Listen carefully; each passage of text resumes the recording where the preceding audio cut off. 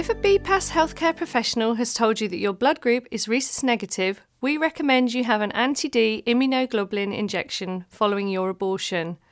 As well as the main blood groups A, B, AB, or O, there is a second factor called rhesus.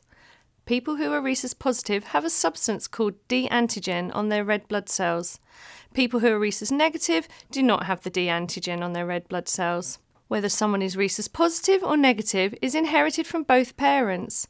If the father of the pregnancy is rhesus positive, then there is a chance that the fetus will also be rhesus positive, even if you are rhesus negative.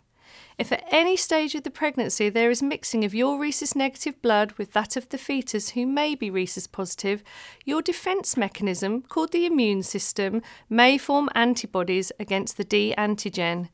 These anti D antibodies attack red blood cells with the D antigen on them. This mixing of blood can happen at various stages through the pregnancy, including abortion, and this will be potentially harmful to any babies you have in the future that are rhesus positive because the antibodies stay in your system.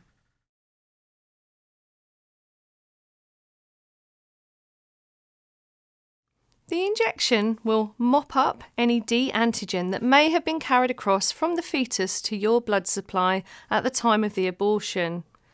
The idea is to neutralise the D antigen from the fetus before it has time to cause your body to produce its own natural anti D antibodies.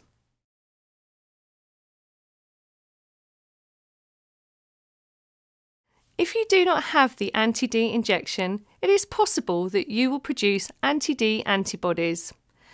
If you become pregnant again and the fetus is rhesus positive, the anti D antibodies might enter the fetus's circulation and attack its blood.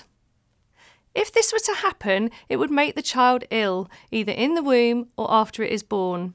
This is called hemolytic disease of the newborn, which is a very serious condition.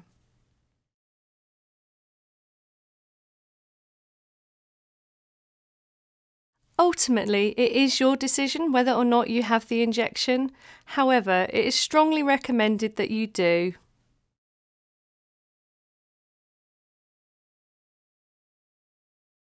Anti D injections have been in use for over 40 years and there are no known serious side effects. At worst, some women experience short term rashes or flu like symptoms, but these are very uncommon. All rhesus negative women having an abortion are offered anti D injection, irrespective of whether the fetus or their partner is rhesus positive or negative.